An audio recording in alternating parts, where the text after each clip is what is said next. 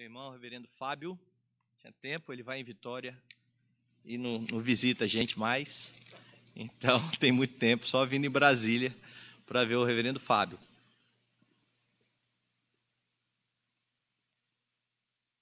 Como o reverendo Fábio disse, eu estou já na Praia do Canto desde 2007. Agora, em dezembro, eu completo 15 anos, pastorei daquela igreja. Os irmãos lá são, são muito pacientes comigo e é bom poder estar com mais uma parte do povo de Deus, poder olhar para a Escritura, um tema tão importante como esse, né, que nós temos hoje. É, eu sou casado com Poliana, tenho dois filhos, Fernanda e Felipe. Trago um abraço da nossa igreja, Igreja Presbiteriana da Praia do Canto, ali em Vitória. Se você estiver passando pelo Espírito Santo, vai ser uma alegria recebê-los. Queria abrir a Bíblia com vocês uh, no texto de Gênesis. Abra sua Bíblia em Gênesis capítulo 40.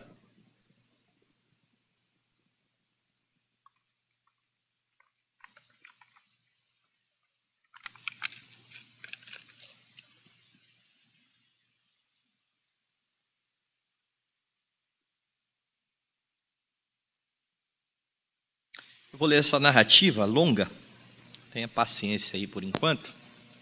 Eu vou ler dois capítulos aqui e eu quero olhar para essa narrativa de uma forma geral à luz desse nosso tema. Diz assim o texto: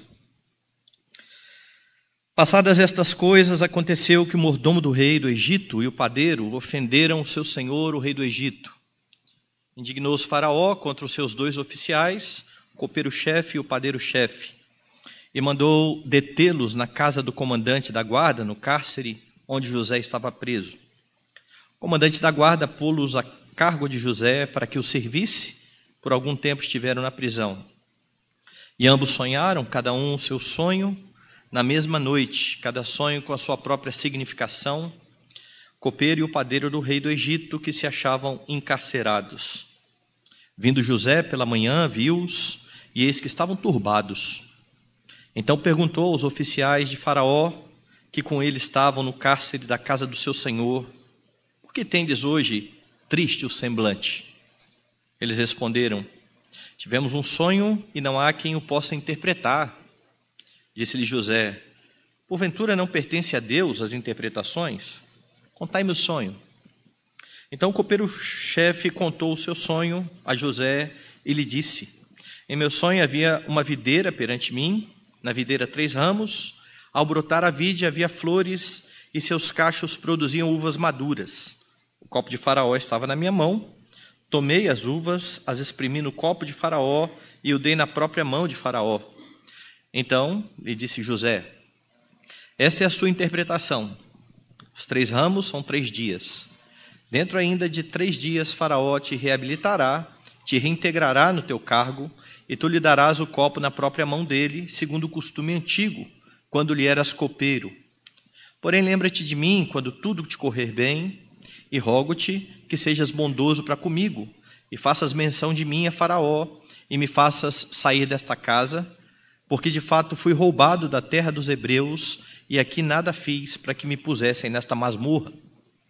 Vendo o padeiro-chefe que a interpretação era boa, disse José: Eu também sonhei e eis que três cestos de pão alvo me estavam sobre a cabeça, e no cesto mais alvo havia de todos os manjares de Faraó, arte de padeiro, e as aves os comiam do cesto na minha cabeça. Então lhe disse José: A interpretação é esta: os três cestos são três dias. Tenta ainda de três dias, Faraó te tirará fora a cabeça, te pendurará no madeiro, e as aves te comerão as carnes. No terceiro dia, que era aniversário de nascimento de Faraó, deu este um banquete a todos os seus servos, e no meio destes reabilitou o copeiro-chefe e condenou o padeiro-chefe.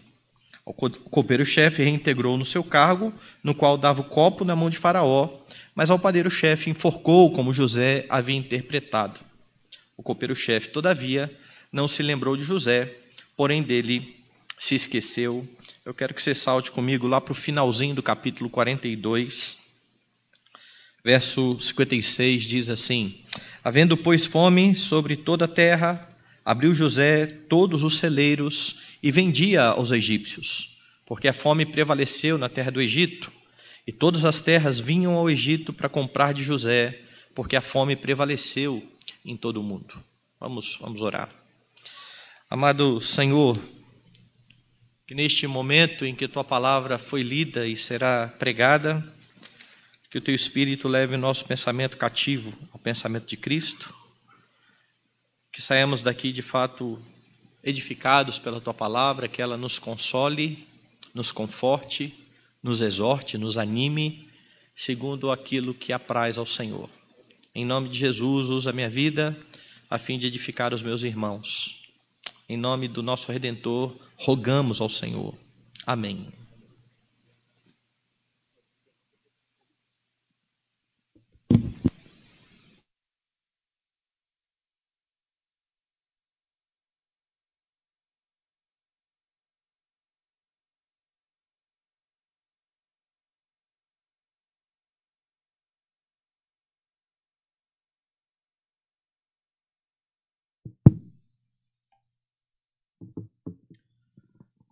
Convicções em tempos de incertezas.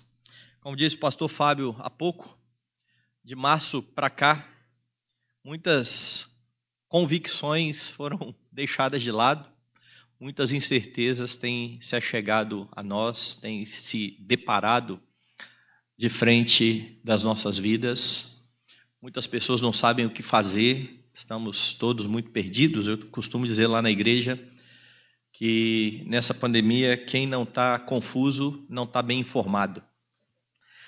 Porque é tanta informação de um lado para o outro, vozes dissonantes, e no meio disso tudo, cá estamos, Igreja do Senhor, que precisa caminhar e, e está caminhando nesse mundo quebrado. E num mundo quebrado, como nós sabemos que vivemos, ah, as incertezas elas são uma realidade. Desde que o homem pecou lá no jardim do Éden, a vida se tornou uma incerteza. Para uns mais, para outros menos. Mas o que, que você tem hoje que você tem certeza de que perdurará? Talvez você tenha saúde hoje, até quando? Você tem o seu dinheiro lá guardado no banco, você tem a, a sua reserva, até quando? Nós experimentamos um tempo em que a igreja livremente se reúne, até quando? Nós não temos certeza de absolutamente nada. E isso porque o pecado afetou todas as relações aqui debaixo do sol. Então, isso não é uma realidade para os nossos dias, mas essa é uma realidade para os nossos irmãos do passado. Imagine então Israel, que se torna um, um grande povo enquanto está no Egito, enquanto está escravo no Egito, é, e de repente tem que enfrentar Faraó, que quer exterminar aquele povo, que teme que aquele povo se torne tão grande que se volte contra o Egito e acabe tomando toda a terra. Então eles começam a bolar, ele começa a bolar planos para que o povo não cresça desta maneira. E cada uma, um dos planos vão sendo frustrados pelo Senhor. O povo de fato é, começa a crescer cada vez mais. E chega o ponto de Deus, então, tirar esse povo da escravidão, ouvindo o clamor desse povo. E este povo agora vai passar 40 anos no Egito, no, no deserto, sob o comando de Moisés, e precisa reaprender a respeito do Deus que os havia tirado do Egito. E aquilo que Moisés faz, então, ao escrever o livro de Gênesis, é exatamente tirar o Egito do coração do povo.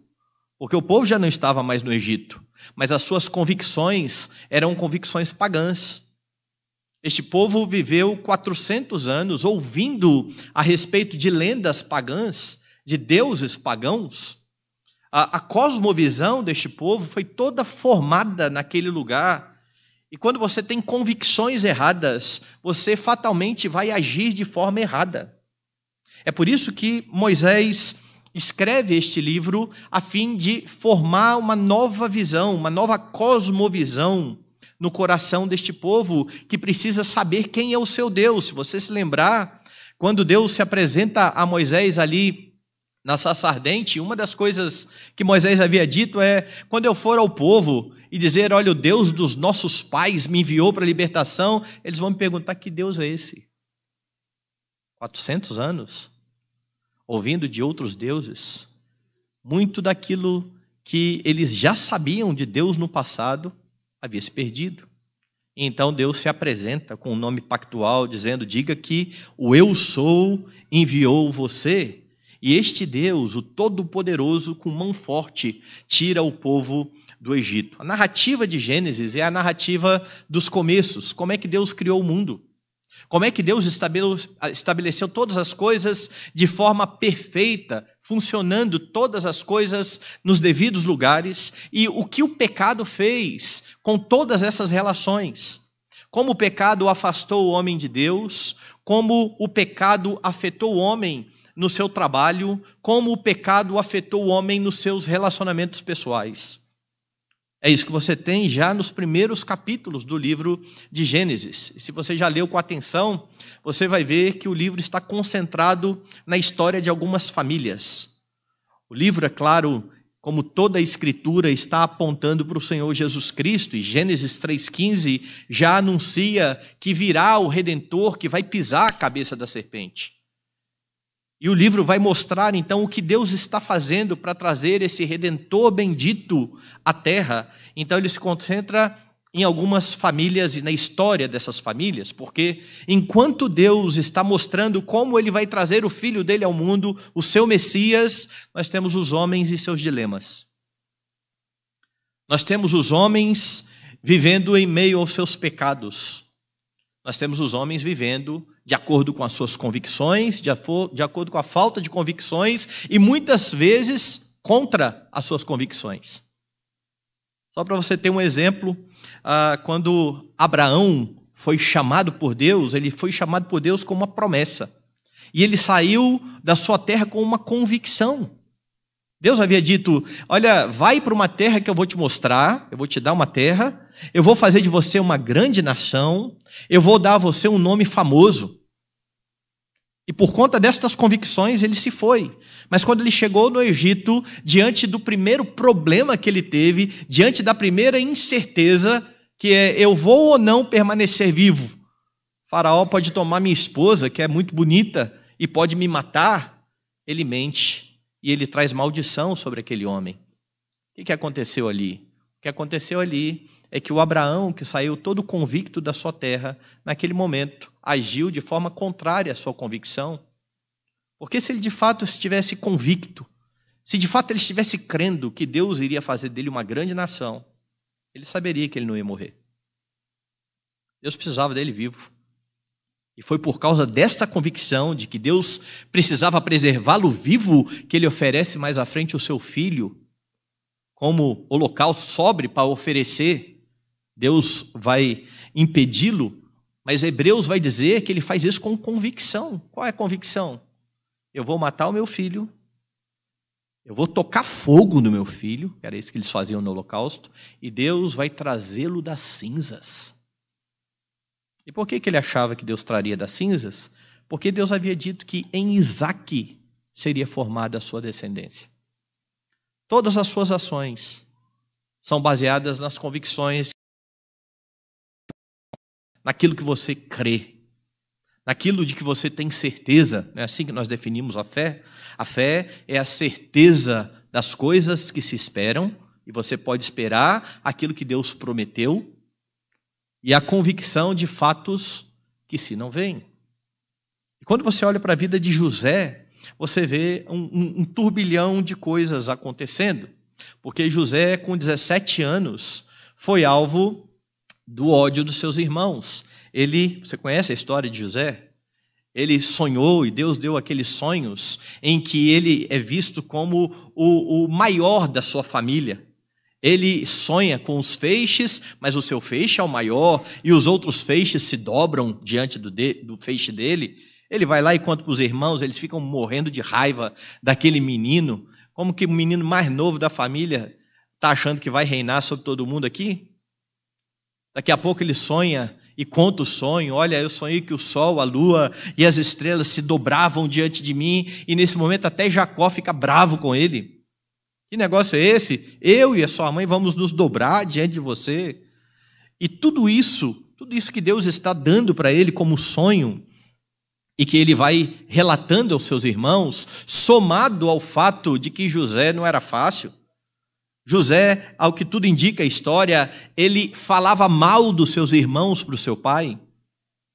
Quando ele contava, voltava e contava e relatava o que os irmãos estavam fazendo, não era para o bem dos irmãos, era porque ele queria se ver melhor do que os seus irmãos. Os irmãos tinham ódio desse homem, desse moço. Resultado, ele é jogado na cisterna, começa aquela discussão: vamos matar? Não, não vamos matar, é nosso irmão, vamos vender. Vamos vender. E ele é vendido. Ele é vendido como escravo ele vai parar na casa de Potifar, ele continua trabalhando, Deus o abençoa, Potifar confia nele. A mulher de Potifar bota os olhos em José e começa a tentá-lo todos os dias. E José, por conta de suas convicções, não peca. Você se lembra o que, que, o que, que ele responde para aquela mulher?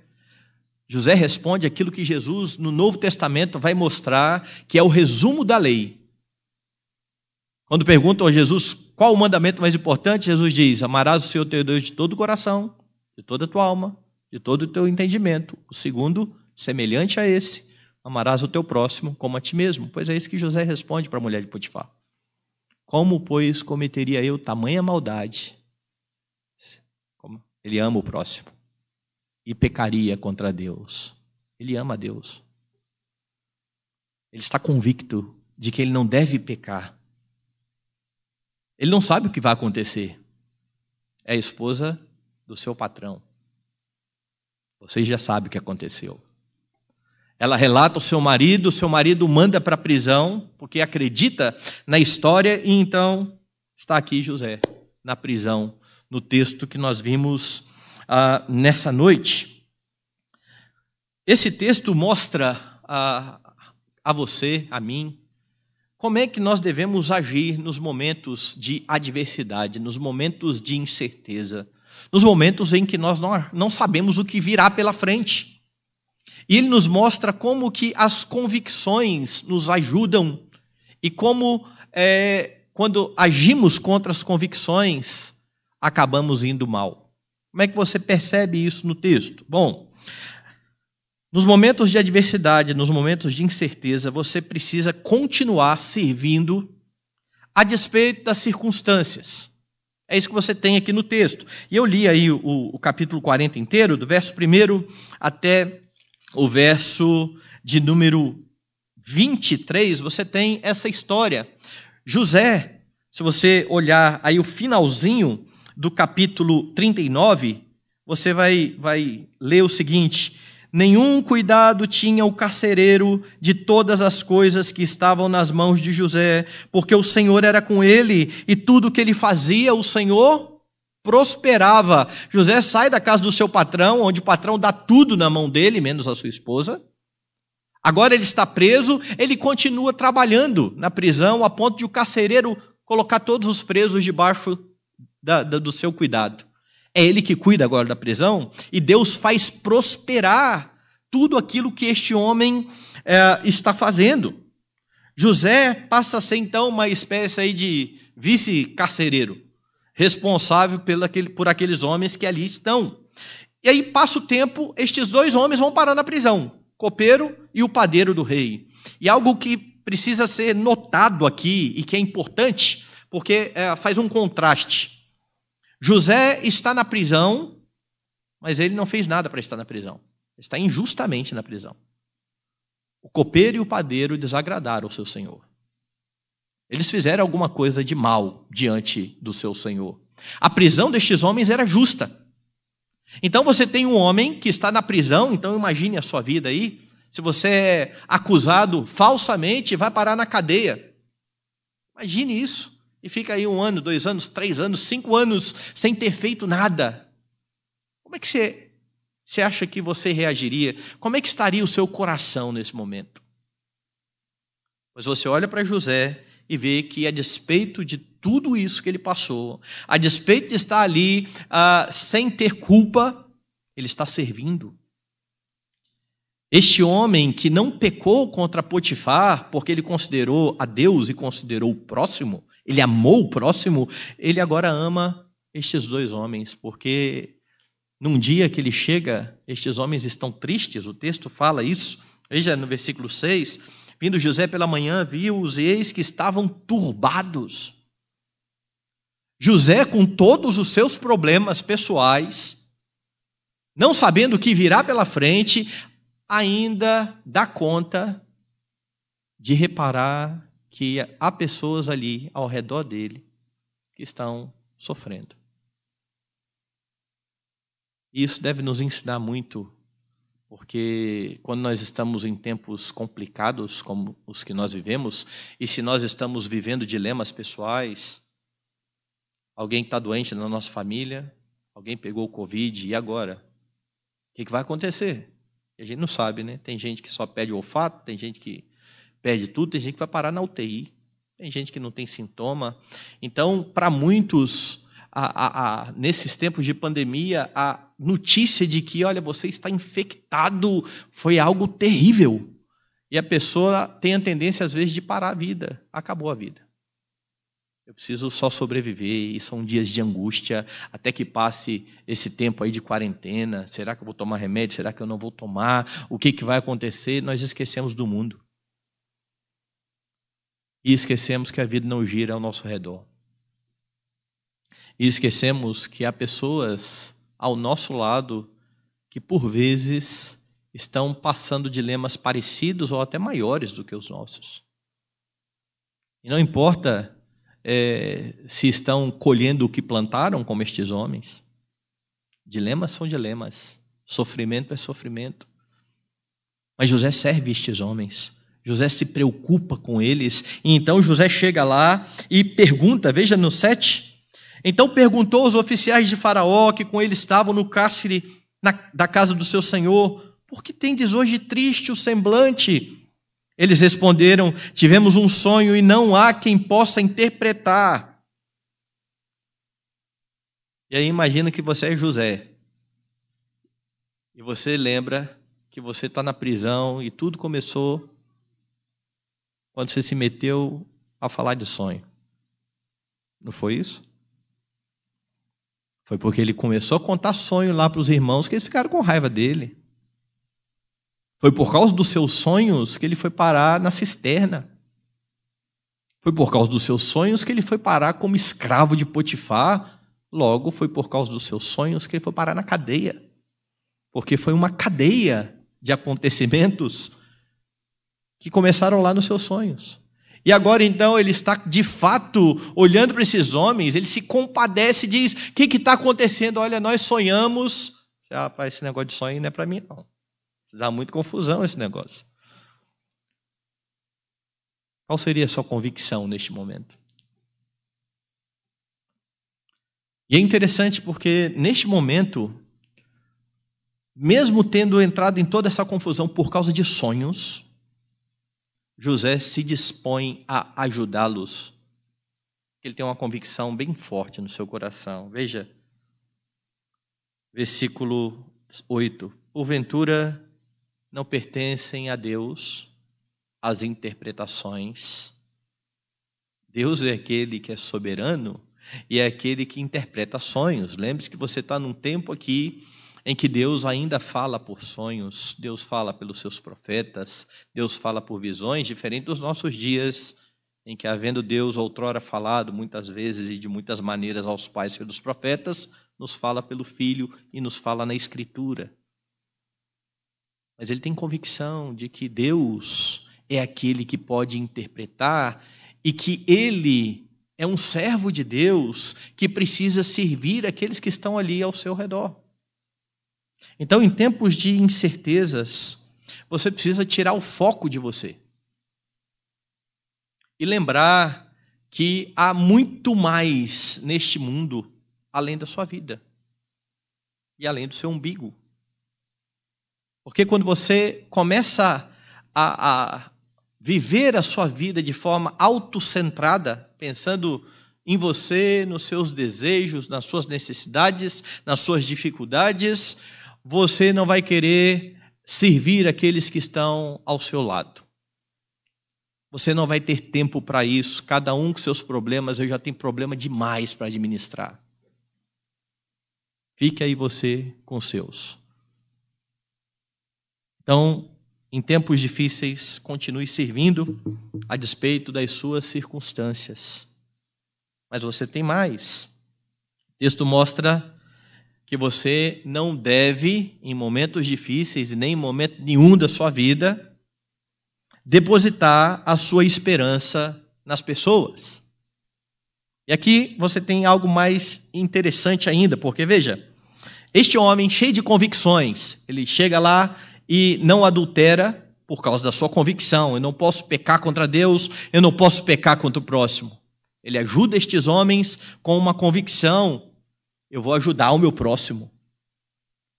Você vai ver que agora lhe faltará um pouquinho essa convicção. Porque o que aconteceu? José interpretou sonhos, olha, daqui três dias, um vai ser, o padeiro-chefe vai ser executado, o copeiro vai ser restituído ao seu cargo. E depois que ele interpreta o sonho do copeiro, você tem algo interessante também de se notar. Note aí o versículo 13. Dentro ainda de três dias, Faraó te reabilitará, te integrará no teu cargo e tu lhe darás o copo na própria mão dele, segundo o costume antigo, quando lhe eras copeiro. Porém, Lembra-te de mim quando tudo te correr bem.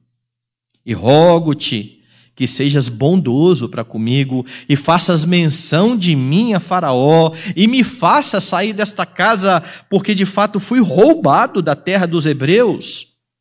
E aqui nada fiz para que me pusessem nesta masmorra.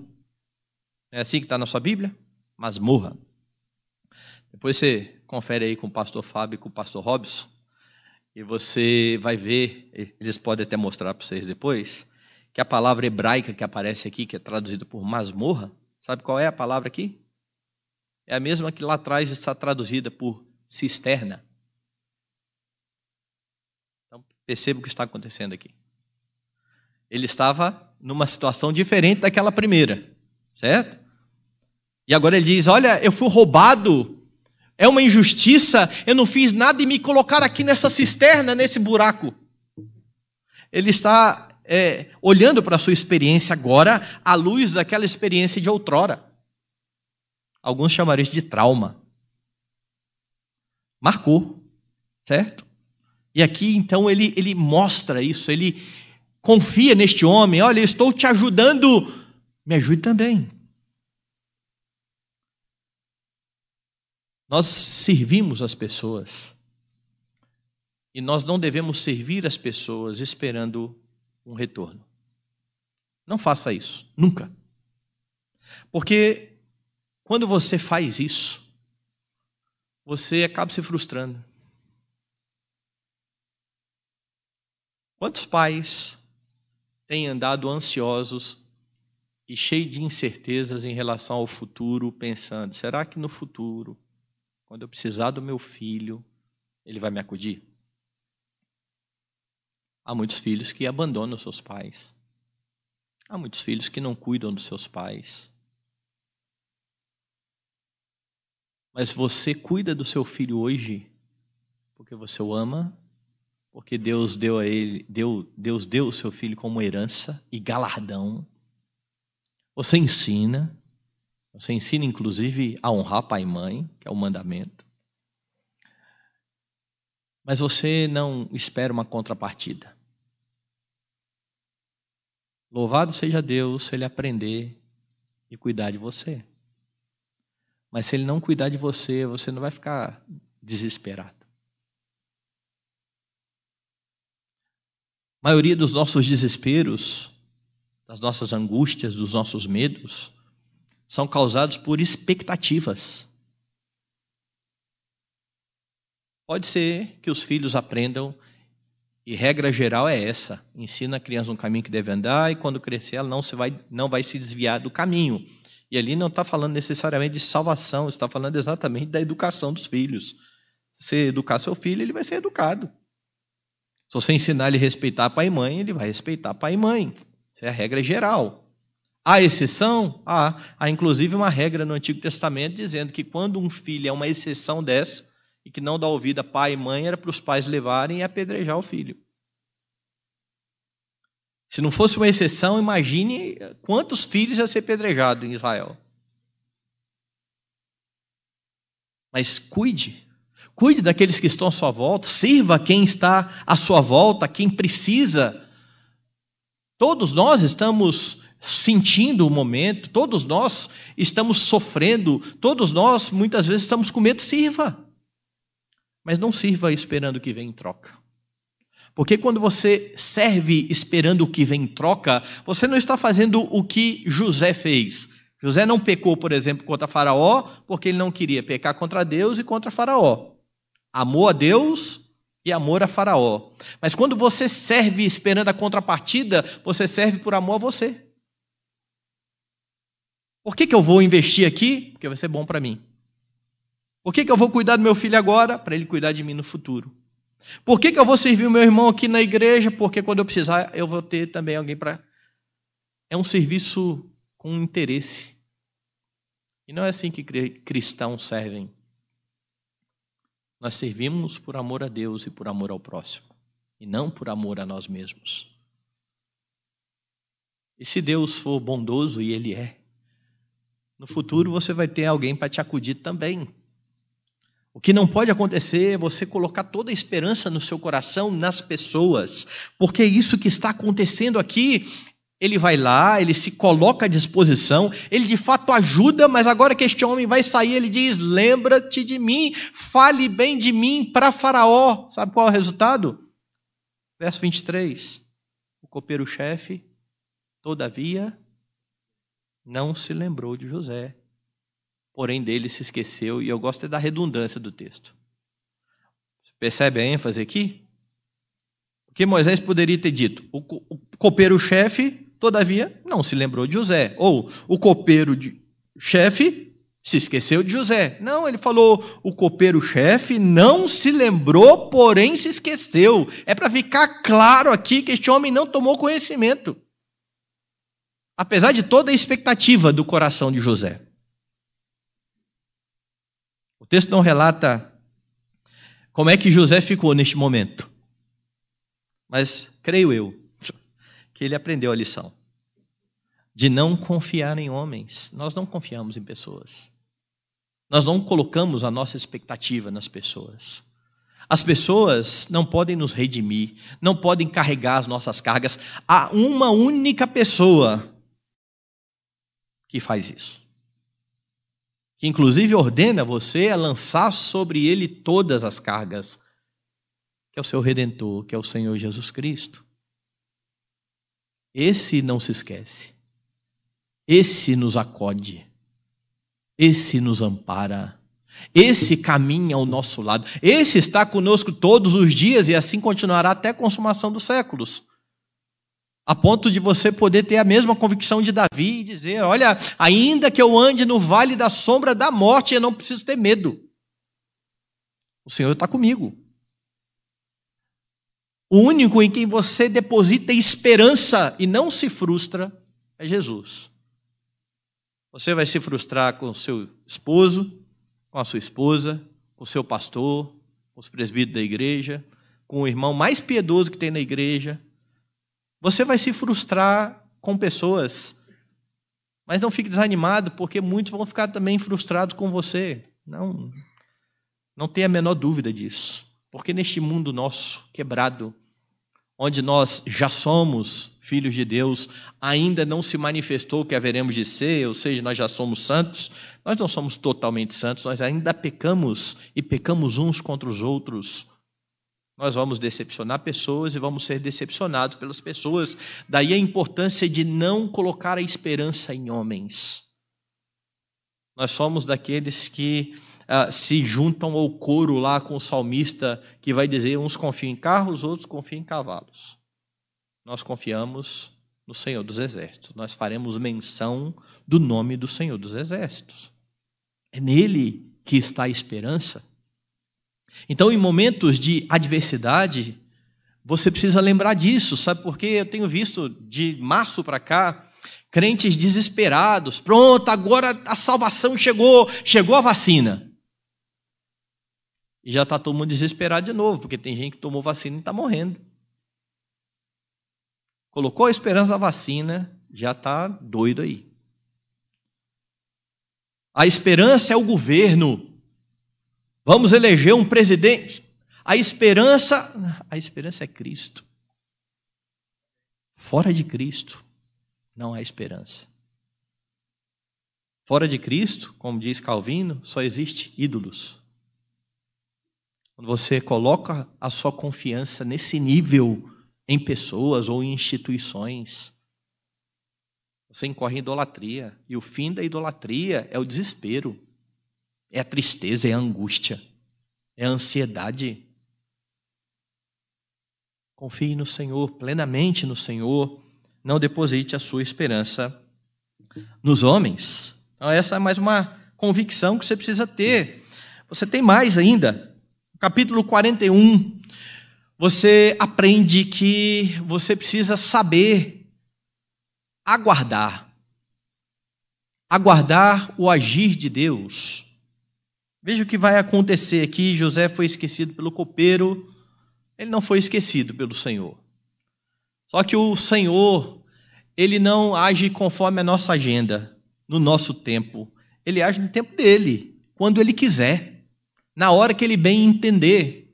Inclusive, até mesmo para cumprir o seu plano de trazer o seu filho para redimir esse mundo, Paulo vai deixar bem claro que foi quando veio a plenitude do tempo, quando veio o tempo certo, quando Deus quis. Quando Abraão foi chamado lá por Deus, falou: essa terra toda é sua, mas olha só, antes dessa terra, 400 anos de escravidão. Vocês vão ficar, porque ainda não chegou o tempo de eu tocar esses habitantes da terra deles, os amorreus, ferezeus, jebuseus e todos os eus que você tem lá no, no texto. Quando se encher a medida dos pecados deles, aí vocês vão ser usados para tirar esse pessoal da terra. A terra é do Senhor, ele dá para quem ele quer. Mas o Senhor é justo. É por isso que ele faz no tempo dele. Nós precisamos aprender isso. E se nós aprendermos isso, nós aprenderemos a descansar no Senhor. Então, no tempo certo, Deus cumpre os seus propósitos. A primeira coisa que Deus faz, Deus cumpre, é, Deus dá um sonho a Faraó. Veja aí do verso 1 a 8. Passados dois anos completos, dois anos se passaram desde o dia em que José falou do sonho e falou para aquele rapaz: você vai ser restituído. Faraó teve um sonho. Parecia-lhe achar ele junto de pé ao rio Nilo, do rio, do rio subiam sete vacas formosas à vista, gordas, e pastavam no carriçal. Após elas, subiam do rio outras sete vacas, feias à vista e magras, e pararam junto às primeiras na margem do rio. As vacas feias à vista e magras comiam as sete formosas à vista e gordas. Então acordou o faraó. Tornando a dormir, sonhou outra vez. De uma só haste saíam sete espigas cheias, cheias e boas, e após elas nasciam sete espigas mirradas, crestadas do vento oriental. As espigas mirradas devoravam as sete espigas grandes e cheias. Então acordou faraó. Fora isto um sonho. De manhã, achando-se ele de espírito perturbado, mandou chamar todos os magos do Egito e todos os seus sábios, lhes contou os sonhos, mas ninguém havia que lhes interpretasse. Então Faraó sonha. Deus dá um sonho a Faraó. Deus, em sua infinita bondade e misericórdia, Deus, em sua providência, você que tem uma boa convicção em tempos de incertezas, estude a doutrina da providência. Nós mencionamos muito a doutrina dos decretos. Tudo que acontece, acontece segundo o decreto do Senhor, antes da fundação do mundo. E como é que ele decretou? Segundo o beneplácito da sua vontade. Se você for lá na, no nosso catecismo, vai ter uma pergunta que eu acho joia. Como é que Deus executa os seus decretos? E a resposta vai ser: Deus executa os decretos por meio das obras da criação, ele criou, para executar os seus decretos e da providência. Ou seja, Deus usa os homens em suas ações boas, em suas ações pecaminosas, para fazer aquilo que lhe apraz. E então ele vai usar um homem, Faraó, e ele dá um sonho a este Faraó, e Faraó está angustiado, ele não sabe o que fazer. E aí então, o que, que acontece nesse momento? Ele chama todo mundo lá, ninguém consegue interpretar. Por um acaso, é por um acaso? Providência de Deus. Está lá na prisão um homem que sabe interpretar sonhos. E como é que Faraó sabe disso? Faraó sabe disso porque um dia Faraó mandou preso este homem que fez mal a ele e ele não gostou. Talvez você não saiba por que, que as coisas estão acontecendo na sua vida. Mas você pode ter uma certeza, a mesma de Paulo. Todas as coisas cooperam para o bem daqueles que amam a Deus. Todas. A pandemia também, sim. E a incerteza política também. E a crise econômica também. E as mentiras das pessoas contra nós também. Se você lembrar, foi porque homens mentiram contra Cristo que Deus salvou a sua vida. Porque você sabe o que precisava para você ser salvo? Jesus precisava morrer. Para ele ser, morrer, ele precisava ser julgado. Mas se aqueles homens julgassem de forma correta, sabe quando Jesus morreria? Nunca. Ele não fez nada de errado. Jesus só morreu porque ele foi condenado injustamente por causa de falso testemunho. E apesar do falso testemunho daqueles homens ser obra maligna deles, esse pecado deles, Deus usou tudo isso para levar o seu filho à cruz, para que o seu pecado fosse cravado. É nas mãos desse Deus que a sua vida está. E é por isso que você precisa aguardar e esperar o seu agir. José parece que está esquecido, mas Deus, no seu tempo, levanta uh, um homem para dizer a Faraó: Eu sei quem pode interpretar. Eu sei. Tem um homem lá naquela prisão. Veja aí do verso 9 ao 14. Então disse Faraó ao copeiro-chefe, o copeiro-chefe: Lembro-me hoje das minhas ofensas. Com isso, Deus leva até este homem a refletir a respeito da maldade que ele havia feito. Estando Faraó muito indignado contra os seus servos e pondo-me sob prisão na casa do comandante da guarda, a mim e ao padeiro-chefe tivemos um sonho na mesma noite, eu e ele. Sonhamos, e cada sonho com a sua própria significação. Achava-se conosco um jovem hebreu, servo do comandante da guarda. Contamos-lhes os nossos sonhos, ele nos interpretou, e cada um segundo o seu sonho, e como nos interpretou, assim mesmo se deu. Eu fui restituído ao meu cargo, o outro foi enforcado. Então Faraó mandou chamar a José e o fizeram sair à pressa da masmorra. Ele se barbeou, mudou de roupa e foi apresentar-se a Faraó. E agora então, este copeiro diz: Olha, já sei, tem um homem lá que faz isso. E Faraó então manda trazê-lo da prisão. José então se arruma ele se barbeia, ele, ele vai encontrar o faraó. Do verso 15 ao verso 36, você tem a interpretação do sonho. Eu não vou ler todo o texto, e eu creio que você conhece. Mas José vai mostrar ali que aquele sonho significava que viriam sete anos de muita prosperidade, seguidos de sete anos em que tudo iria mal. Aquilo que seria incerteza para o povo já estava decretado pelo Senhor. Para Deus não há incertezas. Então José vai dizer isso. Sete anos de abundância, seguido de sete anos de escassez. Ele interpreta e Faraó então ah, sabe o que vai acontecer. Agora, dê uma olhada no verso 16, 15 e 16. Então lhe disse: Tive um sonho, não há quem interprete. Ouvi dizer, porém, a teu respeito, que quando ouves um sonho, podes interpretá-lo. Veja a resposta de José. Respondeu José: Não está isso em mim, mas Deus dará resposta favorável a Faraó. E algo que você nota de muito importante na vida de José é que ele não traz para si uma glória que não é dele.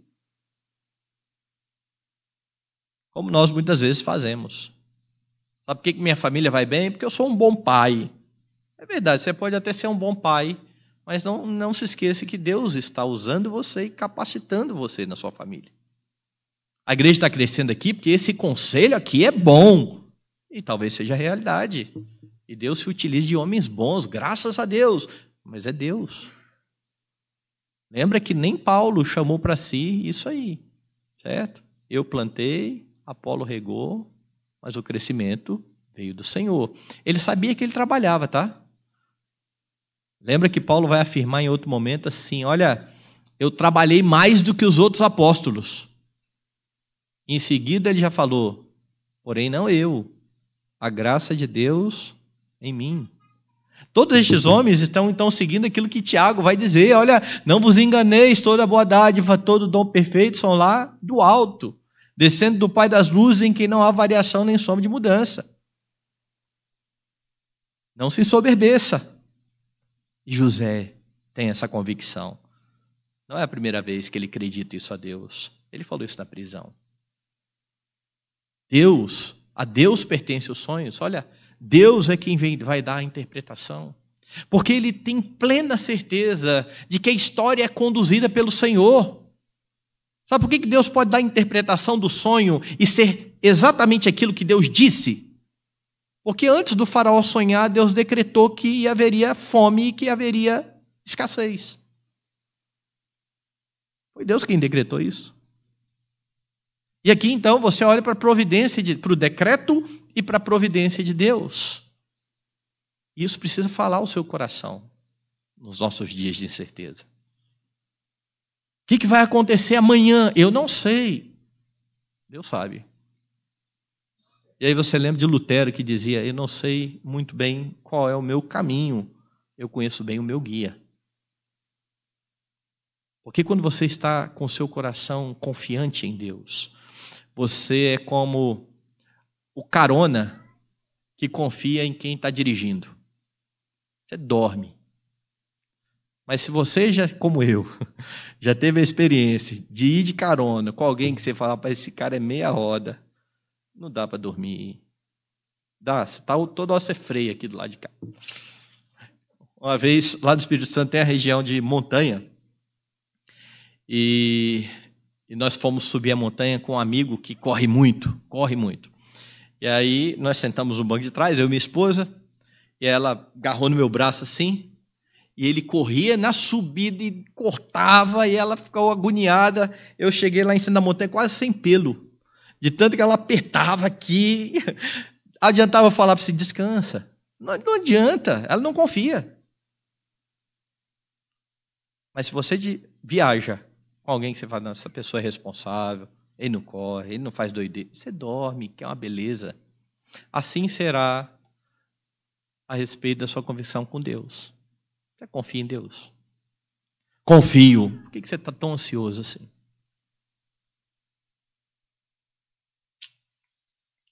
Por que você está com tanto medo assim? Não, pastor, eu confio em Deus. Abraão lá, né? Então por que você mentiu sobre a sua esposa? Os nossos pecados refletem falta de convicção e de confiança no Senhor. O nosso grande problema nesse, no meio disso aí é o nosso orgulho de não querer confessar que por vezes nós somos de fato incrédulos.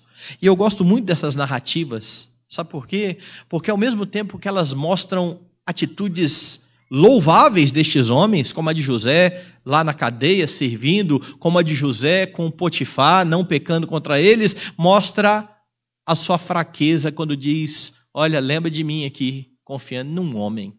num copeiro. É por isso que quando você lê os Salmos, você vê Davi dizendo assim, lá no, nos primeiros Salmos, lá no, no 3, deito e pego no sono, acordo porque o Senhor me sustenta. Qual o contexto? O contexto é que tem um exército atrás de Davi para matar Davi, e o líder do exército é o filho dele. Ele deita e pega no sono. Eu, às vezes, não pego no sono porque estou preocupado com uma coisa tão mais simples do que essa. Depois Davi diz: Ainda que eu ande no vale da sombra da morte, eu não tenho medo. Ainda nos Salmos, Davi vai dizer: Olha, eu esperei com confiança no Senhor, ele se inclinou para mim e me ouviu quando eu clamei por socorro. Tirou do tremendal de lama e colocou meus pés numa rocha. E você fala, pai, mas Davi, pastor, era um homem segundo o coração de Deus, que escreveu o Salmo 13 e disse: Até quando, Senhor? o Senhor vai se esquecer de mim para sempre. O Senhor vai dizer, pai, é a mesma pessoa? Não é possível. É possível. Porque por vezes nós confiamos em Deus e amanhã nós já não confiamos mais. Num dia, Elias matou 450 profetas. No outro dia, ele correu de uma mulher.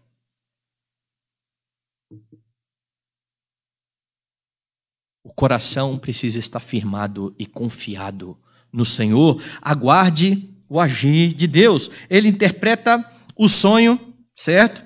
Ah, dá a glória a Deus e na sua providência Deus faz de José o governador do Egito, né? Porque quando ele ouviu de José que os administradores precisavam ser colocados na terra, precisava juntar nesse tempo de abundância, para que no tempo lá de escassez eles tivessem. Farol falou assim: o melhor homem para isso é você. E colocou ele então ali como o governador de toda a terra do Egito. E José agora está sendo honrado e ele começa a ver se cumprir aquilo que ele havia sonhado lá atrás e que trouxe tanta confusão para a vida dele. Agora ele começa a ver o que está acontecendo, certo? Então você precisa se lembrar que Deus não se esquece de você. Você precisa estar convicto de que Deus governa a sua história. Nós confessamos que Jesus é o nosso profeta, sacerdote e rei. Não há nada que fuja ao seu controle soberano. Parece que está tudo fora de controle, Está tudo soberanamente controlado pelo único que pode controlar tudo isso. É por isso que a sua esperança precisa estar nele. E aí então, você tem mais uma convicção aqui. Diante disso tudo, você precisa estar convicto que você precisa louvar a Deus por tudo aquilo que ele faz na sua vida. José, ele, ele vai ser um excelente governador e administrar com sabedoria. E mais, o que, vai acontecer lá no Egito? Ah, vão, vai ser dado a José como esposa, certo? Uma mulher. Veja lá o que, que diz o texto no versículo 50. Antes de chegar a fome, nasceram dois filhos a José, os quais lhe deu Azenate, filha de Potífera, sacerdote de On. José se casa com essa mulher e nascem dois filhos. Essa mulher é filha de um sacerdote pagão, certo? José está lá no Egito, ele é o governador. No Egito tem suas crenças, no Egito tem as suas convicções. José dá nomes aos seus filhos que expressam a sua convicção. Veja o que vai dizer aí o restante do texto. José, o primogênito, chamou de Manassés, pois disse: Deus me fez esquecer de todos os meus trabalhos e de toda a casa do meu pai. Manassés significa literalmente levando a esquecer. Deus me fez esquecer os sofrimentos da casa do meu pai. Não é que deu amnésia nele, não. Você vai entender isso mais à frente, quando ele chegar para os irmãos e disser assim: Olha, não foram vocês que me enviaram para cá foi Deus. E que me colocou como o governador aqui para que se preserve o povo. Deus fez esquecer o seu sofrimento. Deus estava sendo gracioso e possivelmente ele está lembrando aqui que isso agora é de fato a realidade daquilo que ele sonhou. Ele está interpretando a sua história presente à luz daquilo que ele viu lá atrás e de forma correta. E o outro filho? O outro filho, ele colocou o nome de Efraim, que significa frutífero. E aqui então ele reconhece que a bênção da prosperidade vem de Deus. Você vê convicção em José ao nomear os seus filhos. Ele não nomeia com nomes egípcios, ele nomeia com nomes hebreus. Ele crê no seu Deus, ele está convicto a respeito desse Deus, ainda que de vez em quando ele titubeie. Mas ele crê. Ele sabe quem é o seu Deus e você precisa aprender a louvar a Deus por tudo o que acontece. Até mesmo por um tempo de pandemia como esse que a gente está vivendo. Difícil isso, né? Louvar a Deus porque eu perdi o emprego. Louvar a Deus porque eu perdi pessoas queridas. Foi isso que fez Jó, segundo a sua convicção. Deus deu e Deus tomou. Bendito seja o nome do Senhor. Se você murmura, se você reclama, ou você mostra que as suas convicções não são bíblicas, ou você demonstra que, apesar de ter convicções bíblicas, naquele momento você, como José, titubeou. A solução para isso? Arrependimento. Se confessarmos os nossos pecados, Ele é fiel e justo para nos perdoar os pecados, nos purificar de toda injustiça. Como é que você tem vivido nesses tempos de incertezas? Como é que tem sido a sua postura? Como é que estão os seus sentimentos? Quais são as suas ações? O que, tem saído dos seus lábios? Louvor a Deus, murmuração, reclamação. Como é que tem sido a sua vida? Repare algo importante: quando José foi feito governador do Egito, ele tinha 30 anos.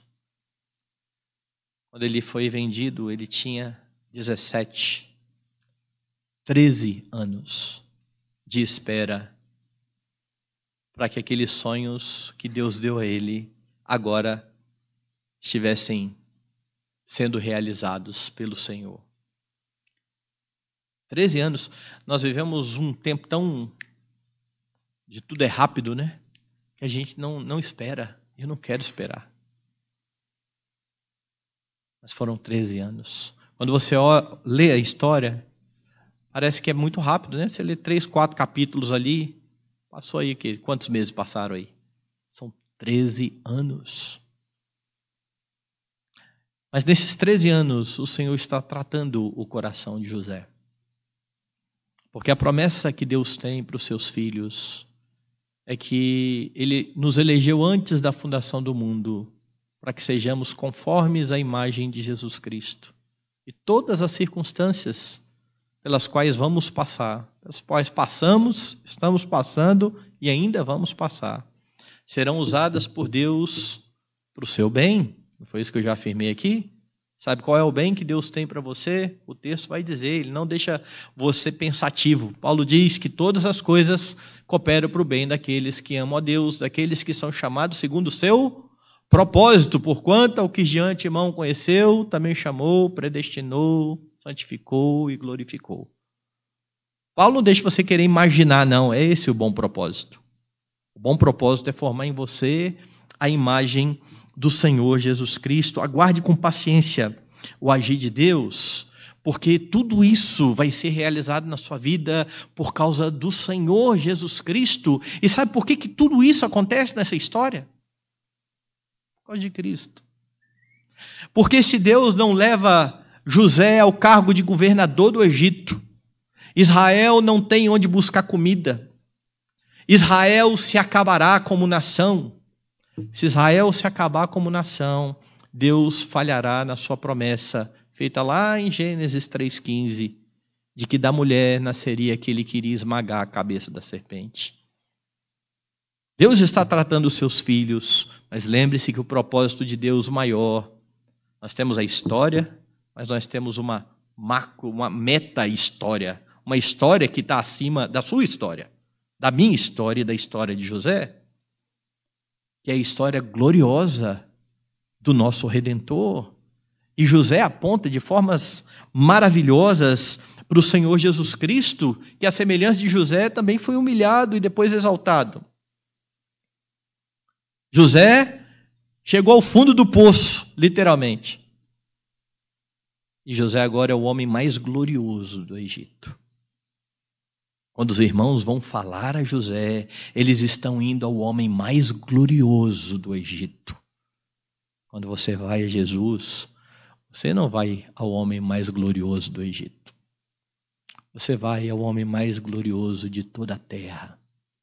O Deus Todo-Poderoso, que um dia se humilhou e foi obediente até a morte e morte de cruz, para que fôssemos redimidos e unidos a esse povo que nele crê, e unidos a Cristo e como parte desse povo, nós podemos ter as nossas convicções bem firmadas no nosso Redentor e podemos caminhar nesse mundo vivendo uma vida abundante como Jesus veio para nos dar.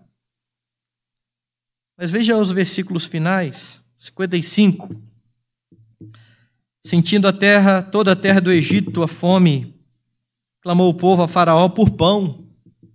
E Faraó dizia a todos os egípcios: Ide a José, o que ele vos disser, fazei. Havendo, pois, fome sobre toda a terra, abriu José todos os celeiros e vendia aos egípcios, porque a fome prevaleceu na terra do Egito, e todas as terras vinham ao Egito para comprar de José, porque a fome prevaleceu em todo o mundo. A fome prevalece hoje em todo mundo. Os homens estão famintos. Este que está sendo preservado aqui por conta do governo de José, ele não vem de José, ele vem do irmão de José, ele vem de Judá. É aquele que vai dizer aos seus discípulos que quem não comer da minha carne e não beber do meu sangue não tem parte comigo. Ele vai dizer: Eu sou o pão da vida. É ele que sacia a fome. Este mundo padece no meio de todas essas incertezas, porque está faminto de Jesus Cristo. Mas eles não vão a Cristo para saciar sua fome. Você foi.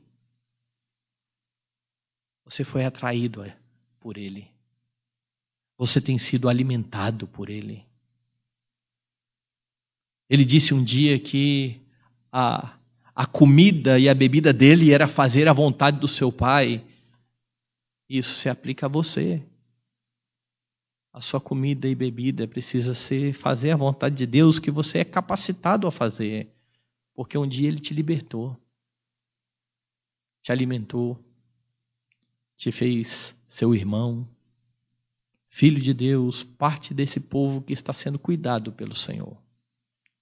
Nestes tempos de crise e de pandemia, minha oração tem sido para que o Senhor use a igreja para que este mundo seja despertado, para que a igreja aponte para aquele que é a verdadeira solução para todas as coisas. Porque veja, vamos pensar numa vacina mais eficaz do que essas que nós temos hoje. Uma vacina que se alguém tomar, nunca mais vai pegar doença nenhuma. Não é só coronavírus. Imagine uma vacina dessa. Sabe de que valeria isso para homens sem Cristo? Alguns anos mais de peregrinação nesse mundo até o dia da condenação. Aqueles que creem em Cristo, ainda que morram, a vida é eterna. Quem crê nele, ainda que morto, viverá. Todo aquele que vive e crê nele não morrerá eternamente, é a igreja, somos nós, que precisamos anunciar aos homens e dizer, e gritar, e proclamar que há esperança no meio de toda essa crise. A esperança é um homem, o glorioso Deus que se fez homem, a fim de redimir pecadores que se rendem a Ele, arrependidos, que essa seja de fato a sua convicção. Vamos orar. Amado Deus e Pai, nós exaltamos o Teu nome, gratos, gratos por esta noite, pela vida de cada um dos irmãos que aqui está, gratos pela Tua palavra que fala ao nosso coração e que nos leva a entender, a compreender a verdade pela iluminação do Teu Espírito. Que de fato, ó Deus Santo, tenhamos convicções firmes, verdadeiras, pautadas na Tua palavra, para que nos tempos de crise, de dificuldades, de incertezas, continuemos vivendo a nossa vida em serviço testemunhando do Senhor como sal da terra e luz do mundo, dando glória ao Senhor por tudo aquilo que o Senhor tem feito, até mesmo pelos problemas que nos afligem, porque temos a convicção de que estão sendo usados pelo Senhor para formar em nós o caráter de Cristo. Te damos graças a Deus, porque o Senhor tem cuidado de nós, está trabalhando na nossa vida. Continue falando ao nosso coração no dia de amanhã, no restante desta conferência para a glória do teu nome. Em nome de Jesus. Amém.